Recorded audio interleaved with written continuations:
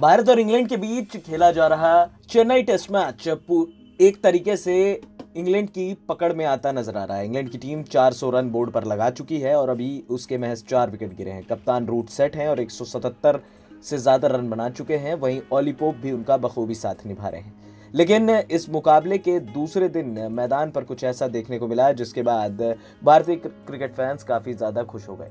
दरअसल, बीच मैदान पर अचानक विराट कोहली ने रोहित शर्मा को कप्तानी सौंप दी और उन्हें कप्तानी करने के लिए कहा। दरअसल, आपको बता दें कि विराट की मदद के लिए हमेशा ही सीनियर खिलाड़ी एक साथ आकर उनकी मदद करते हैं, उनके साथ अपनी टिप्स शेयर करते हैं। बड़ी बात यह है कि जिस तरीके से भारतीय टीम अभी फ़िलहाल प्रदर्शन कर रही है और भारतीय गेंदबाजों का प्रदर्शन उतना अच्छा नहीं हो पा रहा है तो विराट कोहली ने रोहित शर्मा से कहा है कि आप फ़ील्ड को सेट कीजिए, मनोबल बढ़ाइए खिलाड़ियों का। यही वजह है कि विराट और रोहित के बीच जो भी मनमुटाव की खबरें आती रहती हैं, लेकिन मैदान पर कभी भी ऐसा देखने को नहीं मिलता। यही वजह है कि भारतीय टीम एकजुट होकर फ़िलहाल अंग्रेज़ों का डट कर सामना कर रही है। हालाँकि भारत ये सीरीज़ घर में ज़रूर खेल रहा है, जो उम्मीद थी कि शायद टीम इंडिया भारी पड़ जाएगी इंग्लैंड पर, लेकिन ऐसा कहीं पर भी अभी देखने को नहीं मिला है।